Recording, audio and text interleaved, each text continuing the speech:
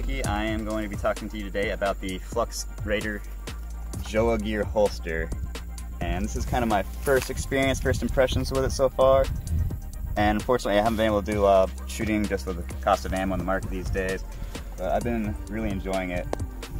I'd say, and this is kind of just going against my own personal preference, I ride a high optic, but with a traditional lower optic on here, it conceals fairly well. Even with this, it's not the end of the world with a larger shirt on.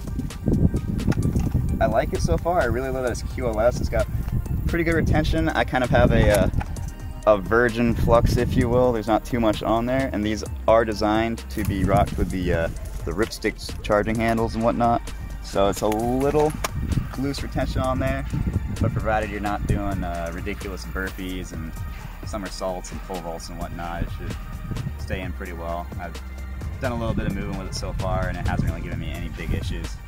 I really do love, I'm not sure if I already put up there, but the QLS right there is fantastic. I rock a uh, P320 Safariland, and switching back and forth between that is just uh, easy peasy. It literally took me about three seconds to do it over by my pit, and I'm already just ready to go rocking a PDW for the day versus a carbine pistol. So I've been enjoying it so far. Also, just for all the cool guys out there, you gotta love the Flecktarn. Yeah.